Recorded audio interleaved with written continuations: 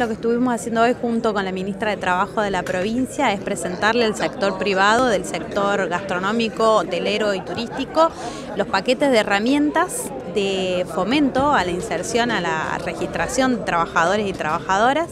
en el marco del programa Fomentar por Nación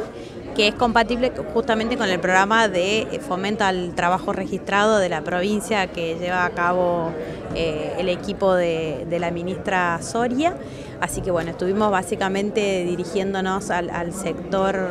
eh, que les comentaba recién, a las cámaras de empresarios, a los, sindicatos vinculados para, promover este, bueno, la, incorporación de más gente al trabajo registrado. ¿Cómo funciona el programa? Bueno, lo que estamos generando ahora es una instancia de poder eh, compatibilizar eh, los, digamos, los titulares de los programas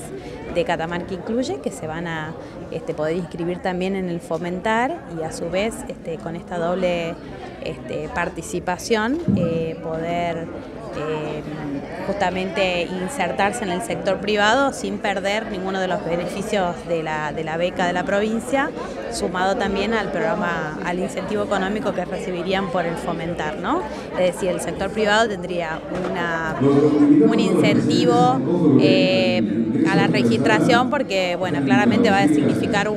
una merma, ¿no es cierto?, en lo que tiene que ver con eh, el salario de ese trabajador. Bien, ¿cuál fue la recepción por parte de los titulares o beneficiarios de estos programas que se están interesando en cuanto a esta nueva temática? Sí, sí, justamente eh, acabamos de firmar los dos primeros convenios de las dos primeras empresas que van a partir de octubre ya a incorporarse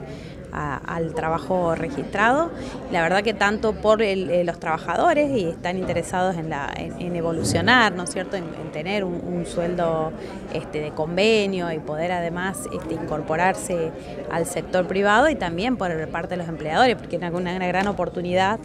este, es mucho el incentivo eh, del Estado Nacional para este sector, así que bueno, hay mucho interés de aplicar los programas.